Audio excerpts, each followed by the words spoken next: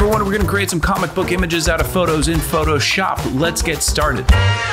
Here's some cool guys. I'll use the polygonal lasso tool to cut them out and create a mask. Right click and convert it to a smart object, then use shadows and highlights with the shadows all the way up to bring out the detail in the shadows. Right click and delete that smart object mask, we don't need that. Next, we're gonna smooth it out with the camera raw filter, noise reduction turned all the way up and detail all the way down. I want it even smoother, camera raw filter again, same thing, but this time I'm also gonna use the saturation slider and get all the color out. Next up, we're gonna use the oil paint filter to smooth it even more more, crank it all the way up even if it makes people look weird.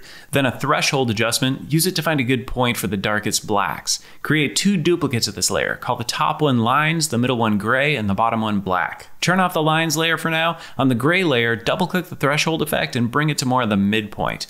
Drag in your free Texture Labs grungy halftone pattern, scale it to cover the whole image, put it directly above the gray layer, then Alt or Option click between the layers to create a clipping mask. Set the halftone layer to screen mode and the gray layer to multiply mode. Turn on the lines layer, turn the threshold effect off for now, and drag the oil paint effect into the trash. On this layer, apply the high pass effect with a radius of 2. Drag the high pass under the threshold effect effect, turn the threshold back on, double click and adjust the threshold to where you get the lines and lose the weird stuff. Set the lines layer to multiply mode. If your image has eyeballs in it, command or control click the new layer button to create a layer below the lines layer, we'll call it eyes. Use a white brush to fill the eyes with white. You might need some black dots in there too. That layer looks like this.